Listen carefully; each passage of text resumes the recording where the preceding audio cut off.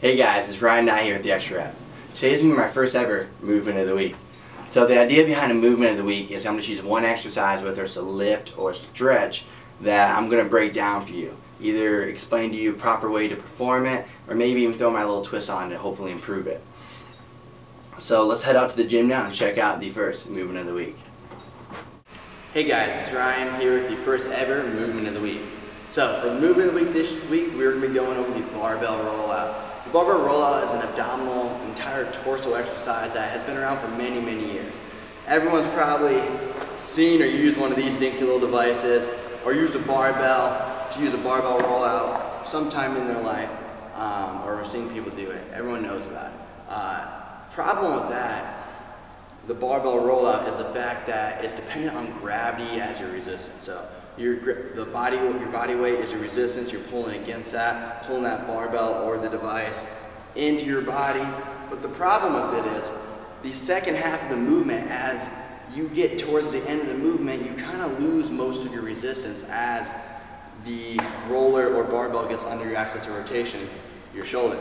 So what I've done is I've decided to band the barbell. As you can see behind me here, I have a barbell set up and I have a band around the pillar and around the barbell. So as I pull in, that second half of the lift doesn't actually get easier, it gets a lot harder as the length of the band increases. So instead of losing a lot of my abdominal and core activation, I'm actually increasing my activation, really having to crunch in and pull my hardest at the end there instead of relaxing and losing a lot of your activation like you do in a normal rollout. So let me give you give it a shot, show you how it's done, see if you like it. All right, so let me show you the band resistant barbell rollout.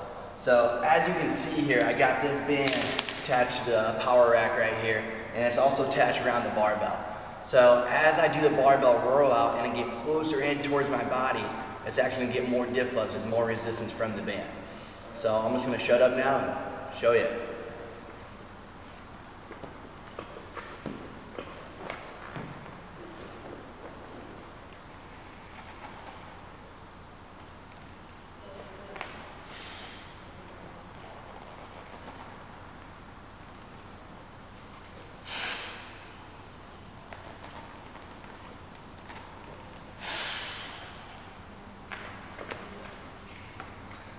All right, we got a few good reps in there. As you can see, my face is probably red already.